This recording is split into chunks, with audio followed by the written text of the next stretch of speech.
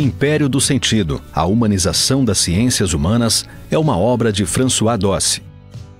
Neste livro, o professor de História François Dossi analisa a pesquisa de ponta nas ciências humanas por meio de entrevistas com os pesquisadores.